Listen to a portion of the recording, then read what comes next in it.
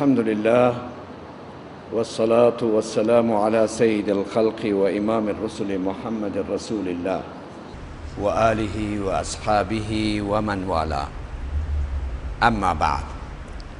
فأعوذ بالله من الشيطان الرجيم بسم الله الرحمن الرحيم إنما الحياة الدنيا لعب ولهو وزينه وتفاخر بينكم وتكاثر في الأموال والأولاد كمثل غيث أعجب الكفار نباته ثم يهيج فتراه مصفرا ثم يكون حطاما صدق الله مولانا العظيم بزرگان محترم جوانان عزيز وهمتنان هموطنان السلام عليكم ورحمة الله وبركاته دوستان نهایت عزیز صحبت امروز ان الله دقایق با شما برادران عزیز و هموطنان گرامی پیرامونی دو چیز است یا دو صفت است که با یک دیگر متقابلن یک قناعت و یک حرص قناعت و حرص این دو صفت در مقابل یک دیگر قرار دارن حرس چی معنا و قناعت چی معنا در حدیث شریف و یا در احادیث شریف که الله از زبان پیغمبری بزرگوارمان صلی الله علیه و سلم میشنویم میبینیم که قناعت چقدر صفت عالی و چقدر فواید دینی و دنیایی را برای انسان جلب و جذب می کند یعنی انسان قانع که به صفت قناعت آراسته است و مزین است او در زندگی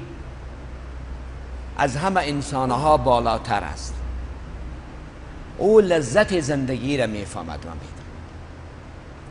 اما حرص از بدترین صفت هست که اگر به دقت ما و شما اگر یک ارزیابی کنیم پیرامون این صفت شوم و این صفت مزموم و ناپسند اکثر مشکلات کشمکش ها جنگ ها منازعات خشونت ها و قضایایی که به محاکم کشیده می شود همه برمیگردد به همین صفت زمیمه و ای که نام از او حرص است در جایی که در حدیث شریف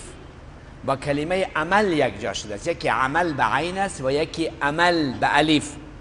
عمل به معنای آرزوهای ناپسند فکر و تفکر پیرامون آرزوهای ناپسند شب میخوابد و تمام شب چرت میزند چرا فلانی به این صفت موتر داره من ندارم چرا فلانی تعمیر لکس داره من ندارم چرا فلانی در فلان منصب قرار داره من قرار ندارم چرا فلانی دارای جا و مقام است من محروم هستم و باید پس تصمیم میگیرم و باید به هر قیمتی که میشود به پول دست پیدا کنم به هر قیمتی که می شود به چوکی دست پیدا کنم به هر قیمتی که می شود سرمایه من از سرمایه فلانی بیشتر باشد به هر قیمتی که می شود در آینده تعمیر من از تعمیر فلانی لکستر باشد این همه خیالاتی است که نشأت می کند از حرس فرزن اگر برش تعمیر داده شود خداوند برش تعمیری لکس میته وزارت برش میته موترای لوکس برش میته 15 16 بادگارد میگه یک تعمیر چیست یک تعمیر هم جای زندگی است مثل مواری شخصیتی که 25 بادگارد داره باید خو 6 تعمیر داشته باشه که امروز ما و شما در شهر کابلی را مشاهده میکنیم مسابقه در حرس و این بدترین صفت در انسان است دیگر مشروع نامشروع مطرح نیست میشه روی یک انسان حریص که این مشروع است یا این نامشروع است این حرام است یا این حلال است نه خیر باید به اهداف شوم خود برسد به هر قیمتی که باشد منع رشوت اختلاس دزدی سرقت خیانت غصب کراهت جنگ قتل تمام افعال ناپسندی که از طرف شریعت تحریم شده است و باعث نارامی جامعه است انسان حریص دریغ نمی کند اما در مقابل آن انسان مقتنع که به آنچه که خداوند به او داده است قناعت دارد کم است یا بیش است قناعت دارد خدایا شکر و لقمه نان جواری دادگیت شکر خدایا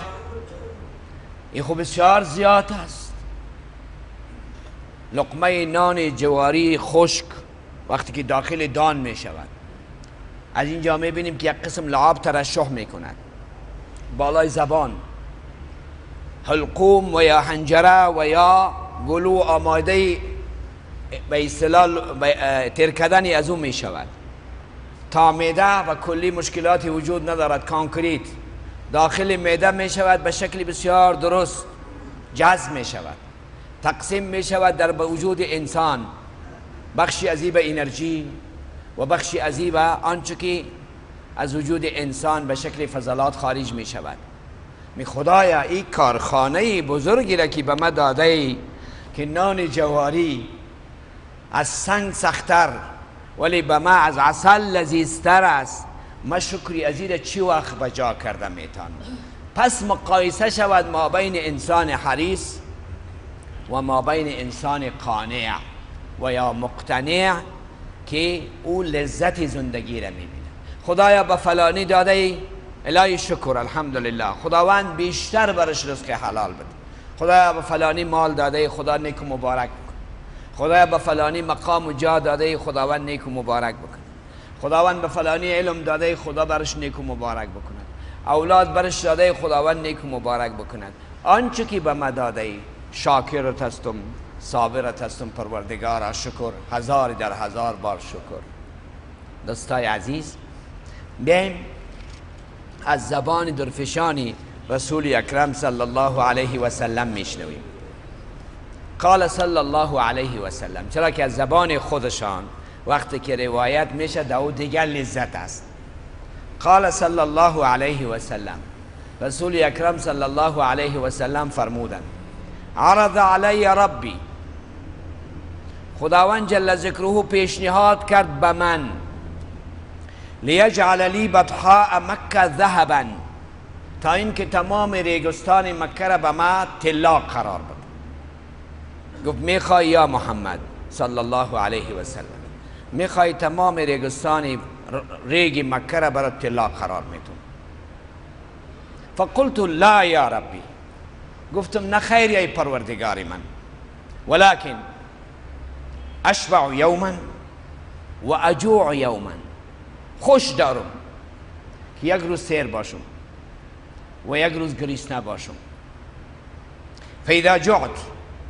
تضرعت إليك وذكرتك وقتی که گریسنا میشم رو به تو میارم و ذکر بجا میکنم که پروردگارا گریس شدم ذکر ترى ميكنم غافل از تنا منشم وإذا شبعت وقتی که سیر شدم حمدتك وشكرتك حمدت حمد تا بجا میارم و شکر تا بجا میارم دوستای عزیز این درسی است برای همگی ما و شما که میفرماید که نخیر یا ربی یک روز گرسنگی و یک روز سیری روزی که گرسنه میشم به تو روی میارم تضرع و زاری میکنم ذکر تو را میکنم قناعت میکنم و روزی که سیر میشم حمد و شکر تو را بجا میکنم فرماید فوالله لا الفقر اخشى عليكم قسم به خدا که از فقر درباره شما نگران نیستم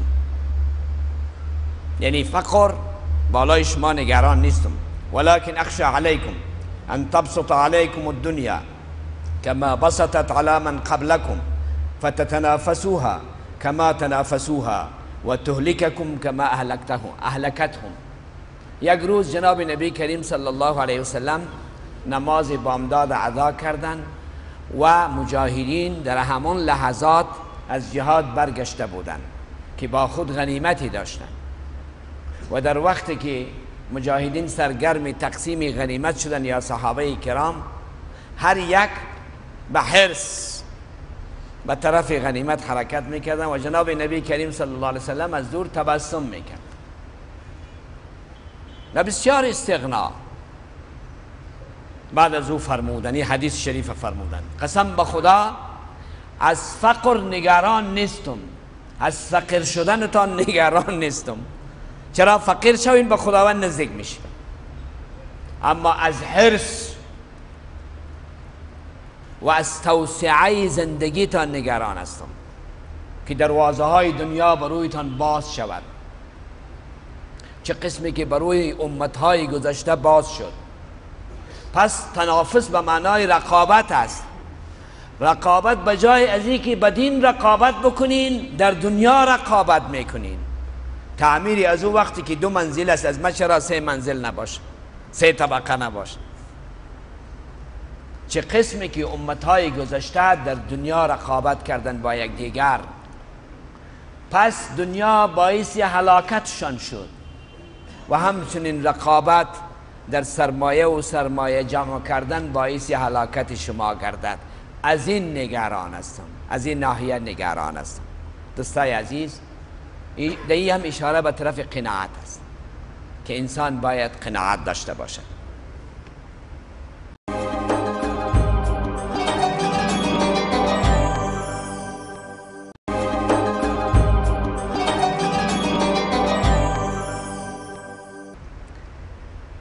در اینجا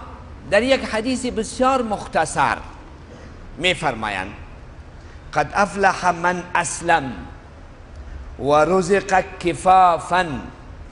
و قنعه الله تعالی بما آتاه سه جمله است قد افلح من اسلم و رزق کفافا و قنعه الله تعالی بما آتاه به تحقیق کامیاب شد رستگاری و کامیابی دنیا و آخرت نصیب انسانی شد که به نعمت اسلام مشرف است و به قطر کفایت برش, برش رزق داده شده است که دستش به کس دراز نمی شود مشکلاتش حل است و خداوند با آنچه که برش داده است قناعت برش داده است افلحه به معنای کامیابی رستگاری در دنیا و آخرت دوستای عزیز به این معنا کامیابترین انسان کسی است که به نعمت اسلام مشرف است مسلمان است بعد از او با آنچه که از طرف خداوند برش داده شده است قناعت دارد آنچه که از طرف خداوند کم و بیش برش داده شده است با او قناعت دارد می فرماید یقول العبد مالی مالی و انما ماله من ماله ثلاث ما أكل فأفنى أو لبس فأبلى أو أعطى فاقتنى وما سوى ذلك فهو ذاهب وتاركه للناس هميشة انسان حديث در مال و سرمايا ميدوا ولي خبر ندارد كي از این سرمایه بخشی از او یا برای از او سه چیز است آنچه که می خورد آنچه که می پوشد و آنچه که در راه خداوند مصرف می کند آنچه که می و آنچه که می پوشد و آنچه که در راه خدا مصرف می کند مالش این اموست سوا از این سه چیز چیزی هست که بیهوده خدا خسته و مانده می سازد چرا؟ به خاطر از اینکه او میماند برای دیگران تاریکه للناس چه یک تعبیر زیبایی او را برای دیگران میماند و دیگران کیس اولاد خدا میداند که او اولاد باز برش دعای خیر میکند و یا خیر به هر حال دوستای عزیز این حدیث شریف هم قناعت است ليس الغنى عن كثرة العرض ولكن الغنى عن غنى النفس غني بودن به زياد مال داشتن و سرمایه داشت دار بودن نیست بهترین غنی کسی است که نفسی از او غنی است قناعت دارد چنانچه در قرآن پاک درباره فقرایی که اونها نمیخوان که خود از ذلیل بکنن فقرایی که استغنا دارن فقرایی که قناعت دارن امروز متاسفانه در کوچه و بازار یک تعداد مردم از گدایگری حرفه ساختن و یک تعداد مسلمانایی که میخوان مال زکات خود بتن ایران ماندن کجا ببرن زکات خود چرا انسان مقتنی و قانی هیچ وقت آماده نیست حتی دست خود به کس پیش کند انسان غنی غنی واقعی کسی که خداوند به او قناعت داده است نفسی از او مستغنی است دست را پیش نمی کند خداوند درباره همچنین افراد می فرماید للفقراء الذين احصروا في سبيل الله مستحق زکات و صدقات فقرای هستند که در رای خدا بند شدند احصروا فی سبیل الله لا يستطيعون ضربا فی الارض اونها توان سفر به خاطر تجارت ندارند در زمین یا سرمایه ندارند و یا اینکه صحتشان خوب نیست و یا اینکه خدمت اسلام اونها را محاصره ساخته است یا جهاد در رای خداوند اونها را محصور ساخته است یا مصروفیتشان به دین یا به تعلم و آموختن یا به آموزانیدن دین مصروف هستند و خود فقیر هستند احصروا في سبيل لا يستطيعون ضربا في الارض يحسبهم الجاهل اغنياء من التعفف یک انسانی که به حالشان خبر نیست فکر میکنه که یا واقعا که غنی نمی آدم است سرمایه دارم آدم است من التعفف به خاطر تعفف چی معنی تعفف خودداری از سوال و خود را به شکل فقیر به مردم نشان نمیدهند در حالی که فقیر هستند از نظر مال و دارایی فقیر هستند از نظر قناعت نفسی غنی هستند لا یسالون الناس الحافا ببینین حتی یک مثال بسیار خرد و کوچک و یک مثال مختصر و عبارت دیگر حضرت ابو هریره رضی الله تعالی عنه فرماید که یک روز گریسنگی بسیار بالای غالب آمد سخت در مسجد با نبی کریم صلی الله علیه و سلم نماز به جماعت خواندیم بیرون برآمدم دیگه توانی حرکت نبود در, در دروازه مسجد ششتم حتی توانی ششتن نبود به پشت افتیدم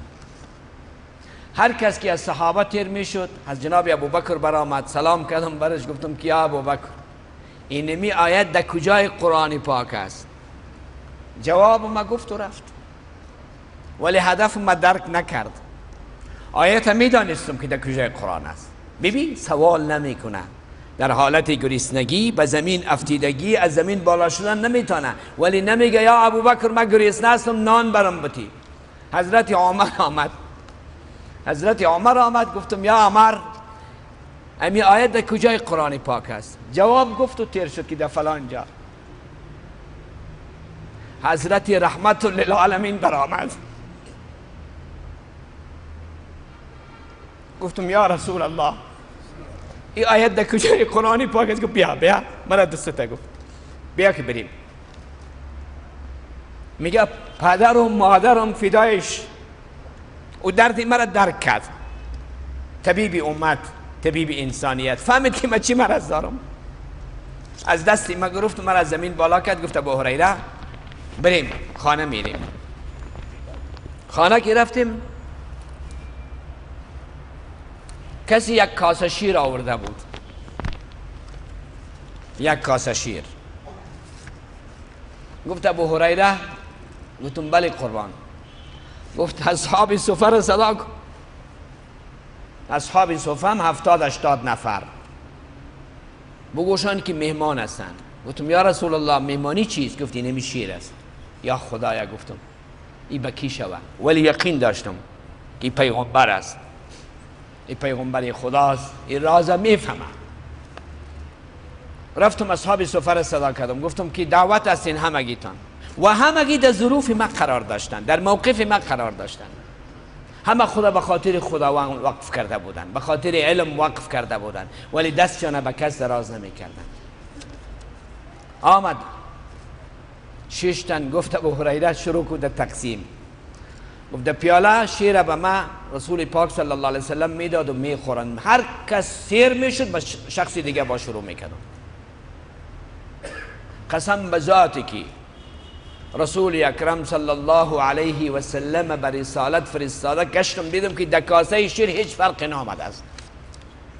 شیر به حال خود باقی است گفته ابو هریره نوبتی توست کاسه شیر ما گرفتم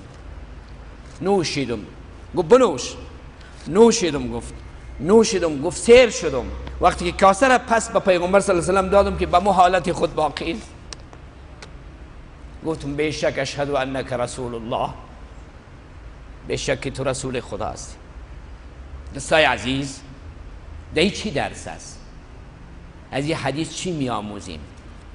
که باید انسان عفت خود حفظ بکنه امروز پول داری الحمدلله داراییت خوب است ولی بازم حرس باعثی از این میشه و که تو تا اندک جایدادی با بیادر خود تچ کنی زندگیت خوب است و یک تعداد زیادی که متاسفانه با لباس بسیار خشین با لباس گدایگر پیش روی مردم استاد میشوند مردم اذیت میکنند حتی بس اوقات دعای بد میکنند اینا همگی متاسفانه همگی گفته نمیتونیم اکثریت مطلق این مردم حرفوی هستند اکثریت مطلق مردم حرفوی ما تلاش بکنیم که بندگان مقنی و یا قانی خداوند پیدا بکنیم کسانی که دوا صفت قناعت است با وا کمک بکنیم که وا مستحق هستند دوستای عزیز بناهن صفت قناعت وقتی که در کسی باشد خداوند جل ذکره او شخص در دنیا و آخرت سربلند و مستغنی می سازد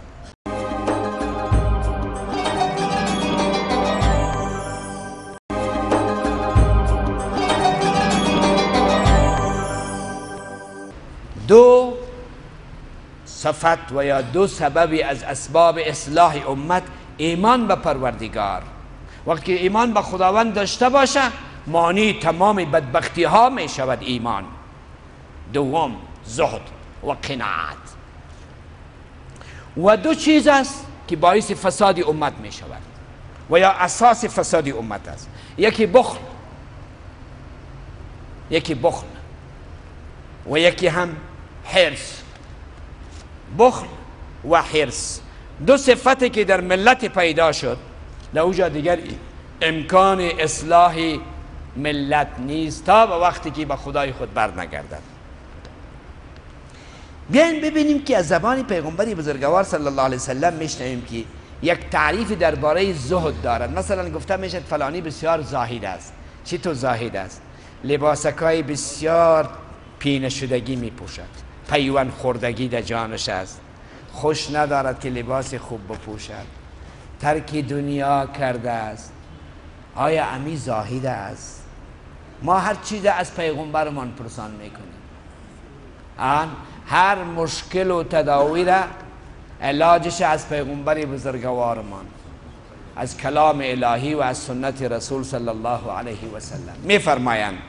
لیس زهد فی الدنیا بلبس الغلید والخشن و اکل الجشب انما الزهد فی الدنیا قصر العمل چقدر زیبا و مقبول معنای ترک دنیا و یا زاهد شدن این نیست که یک انسان لباسهای پینه در جانش باشد و یا نعمت خدا را ترک کنه بفرمایین بخورین نه خیر ایره من باز در آخرت میخورم در اینجا نمیخورم این نعمت خداوند است بخور بیشتر خواندیم شکرش بجا کن بخور شکرش بجا کن اصراف نکن با پوشیدن لباس های و به اصطلاح دور از قداست مسجد چرک و چتل یک انسان زاهد شده نمیتواند بلکه میفرمایند که معنای زهد و معنای قناعت او چیست او ترک حرص است و قناعت نفسی است کم یا بیش در موتر سوار می شود یا در مرکب ولی قناعت دارد حریص نمی باشد به با آنچه که خداوند برش داده به او قناعت دارد دوستای نهایت عزیز به هر حال زمونږ د ټولو خبرو خلاصه دا ده چې دا دوه صفته یو حرص او بل قناعت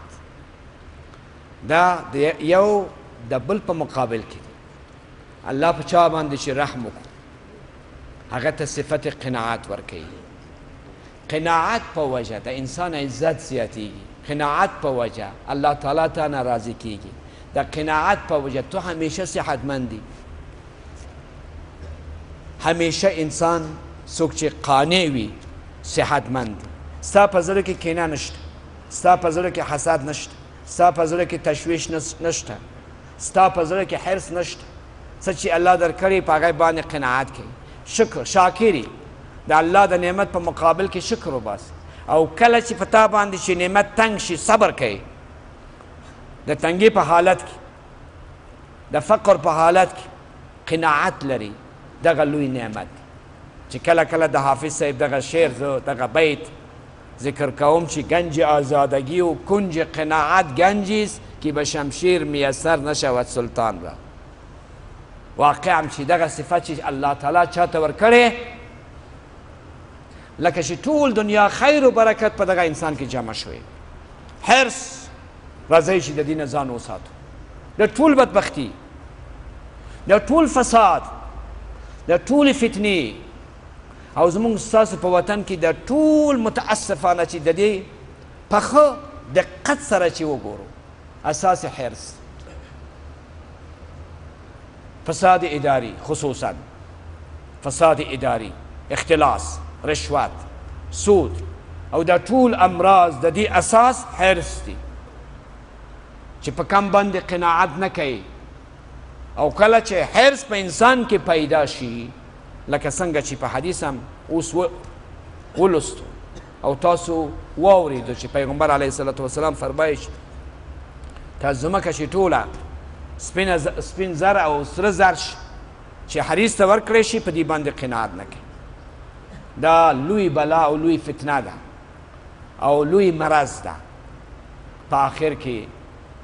د الله تعالی نه په ډیر اخلاص سره دعا وکړو چې الله تعالی موږ ته صفت قناعت راکړي او د حرص نه وساتي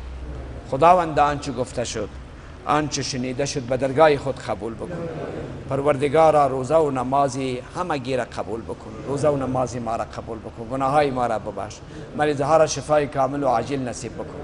الهی به همگی ما صفت قناعت نصیب بکن الهی به او کسانی که امروز در مرض حرس مبتلا و مصاب هستند الهی به برکت این روز پرفیض به اونها صفت قناعت نصیب بکن اگر حرسی از اونها باعث بدبربادی افغانستان شده خداوند اگر مستحق هدایت نیستن اونها را گم بکو پروردگار انسانهای قانع را پروردگار در این وطن در خدمت ملت بگمار الهی تمام فتنه و فساد و بدبختی را از وطن ما و از امت اسلامی دور بکن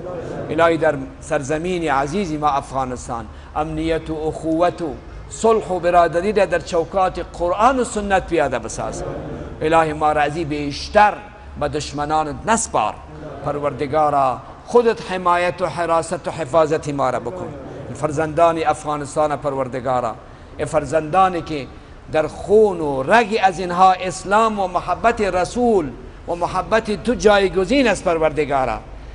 محبت و اخوت اسلامی را در قلبهایشان روشن بساز